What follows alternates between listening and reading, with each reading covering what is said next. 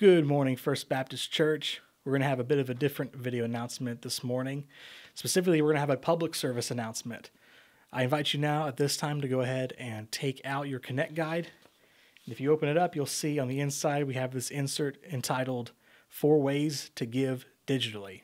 We at First Baptist always want to be on the cutting edge of technology, so we went ahead and upgraded our giving kiosk system to a more advanced, more efficient, safer option. So we're going to go through these four ways that we offer to give your tithes and offerings digitally.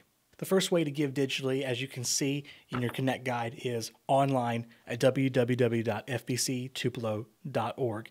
If you've given online before, not much has changed really. You still go to the website and on the home page, in the upper right hand corner of the screen, put it right here, the upper right hand corner of the screen, it says online giving. If you click that, it will take you to the new giving page.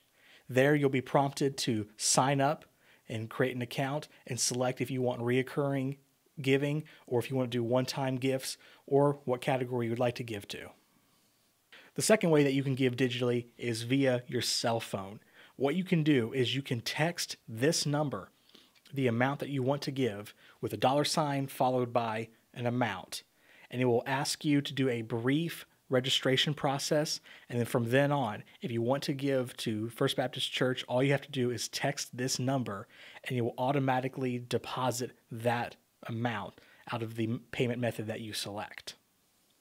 And the third way to give is by using the giving kiosk located in both the lobby area in front of the adult Sunday school area and in the grand hall. The process to use this kiosk is very simple. You have the option of either selecting Give Now or Event Registration. So when we select Give Now, you can choose if you want to give to the General Tithes and Offerings, the World Mission Offering, State Mission Offering, or the Building Capital Fund. I'm going to select the Building Capital Fund here, and I'm going to type an amount.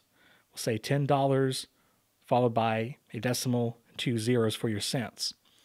And I'm going to go ahead and give, process payment, and now all you have to do is you take your credit card and make sure that the magnetic stripe is facing down and to the left, and simply swipe the card for the payment to process. After you swipe your card, you'll be prompted to enter your email address. This is so that you can receive your receipt for the amount of your donation. After you've entered your email address, simply press process donation, and after a brief loading period, you will be giving this gift successful dialog. Simply press OK to return to the main menu. Another exciting feature of this new kiosk system is the event registration feature. You'll notice that on the front of that screen there, it gives you the option to register for an event. So now we'll be able to register for things like VBS or youth trips, things like that, from the Giving kiosk, which will help to streamline the registration for some events. And the last way to give digitally is via QR codes. If you're one of the folks that likes to give using the QR code, well, the good news is, is it's right there on the back of the Connect Guide, right where it's always been.